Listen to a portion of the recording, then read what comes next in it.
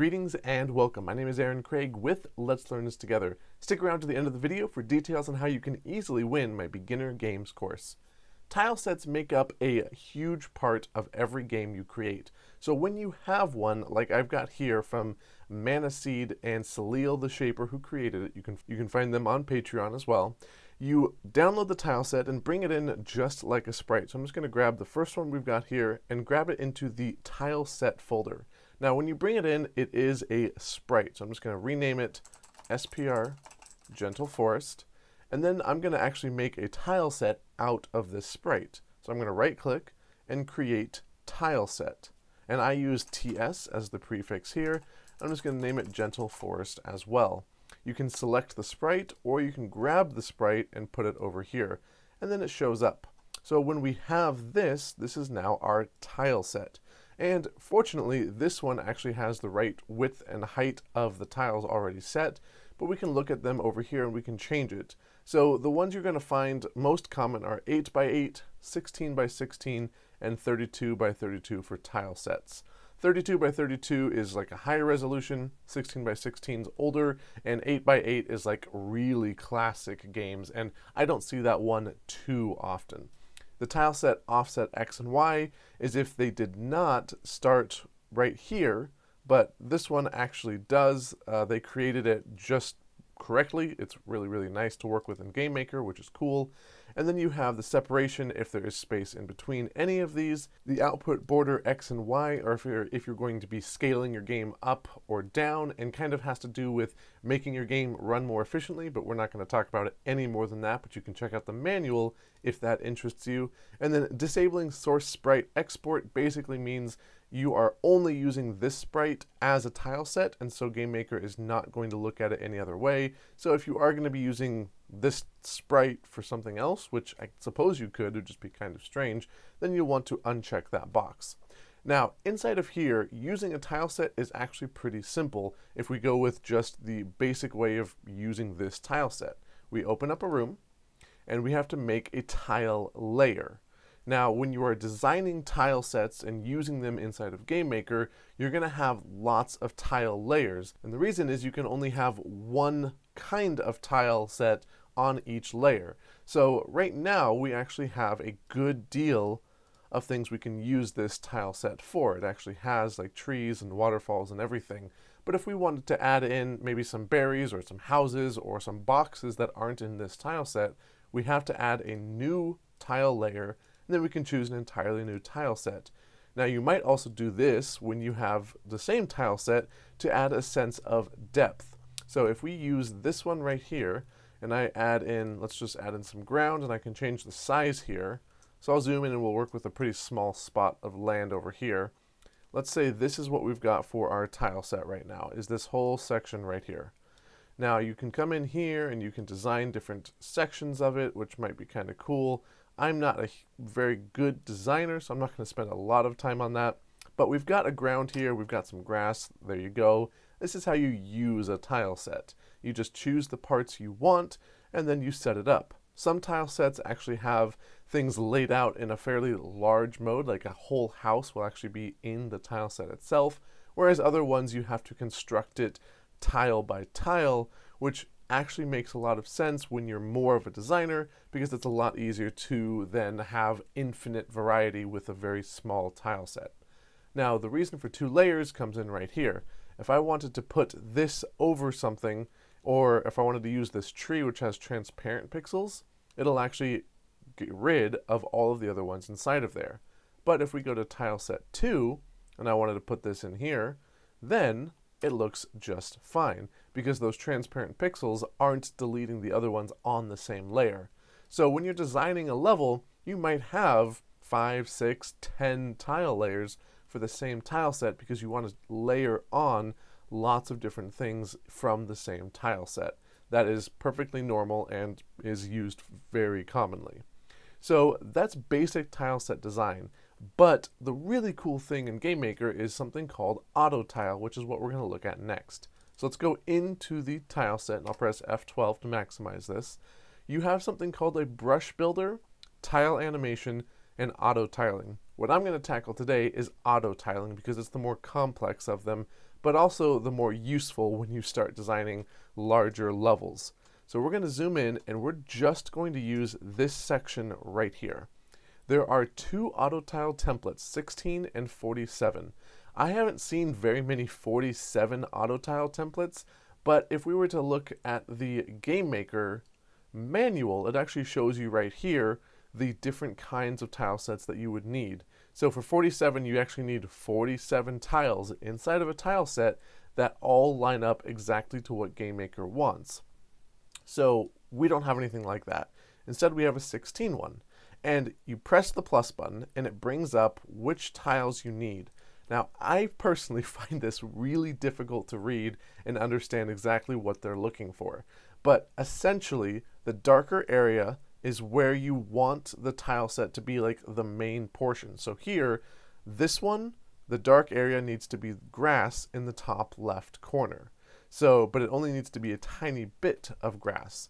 So as we go through here, we're going to select the tiles from this tile set, and then we're going to be able to just hold it down on our auto tiling and create a level that is dynamic based on how we move our mouse around. It's really, really cool.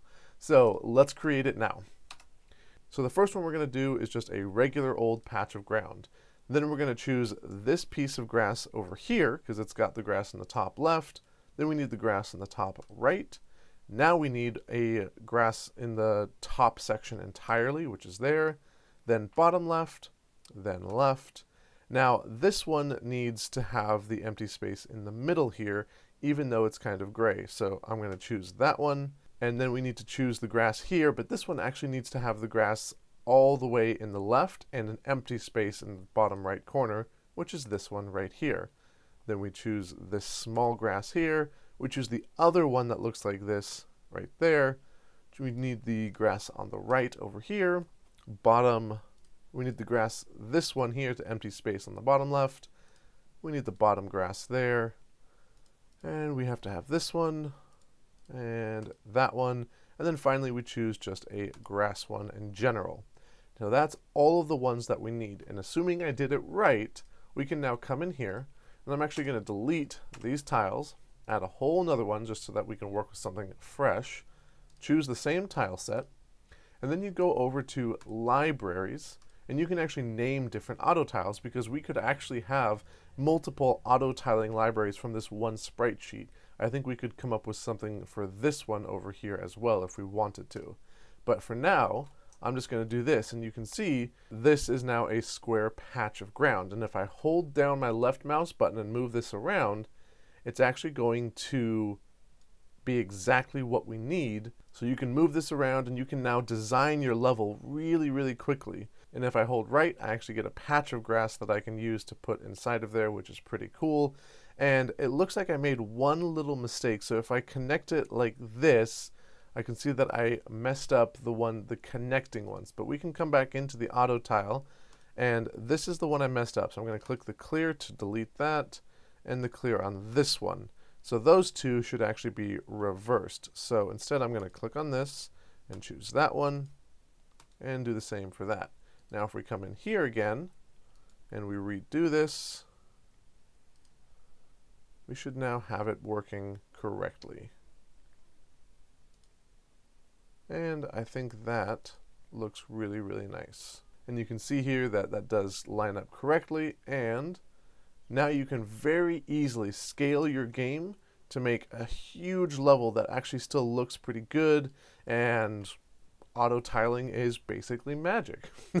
Not really, you now know how to make it and that's exactly how it works.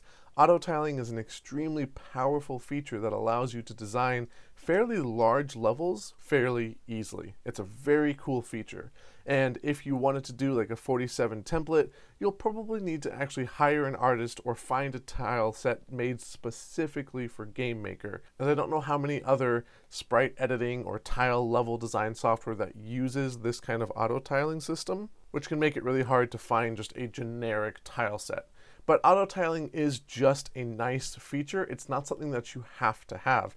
There are thousands of free tile sets out there that don't have auto tiling in them, and you can still use them to make really, really awesome games. But if you're making a larger scale game, then auto tiling can be a really big help. And you can also just take tile sets and move them around and create them yourself, and then you'll be good to go. Now, if you messed up at all in your tile set, it'll turn red because I just actually clicked on several inside of here. And if you've used a tile before, it will turn red because you cannot use the same tile at all. If I go ahead and delete this, then this is still here, but now there's no actual auto tile. Apparently it still remembers it currently because I have it selected somehow, which looks like it's more of a bug in GameMaker than anything else.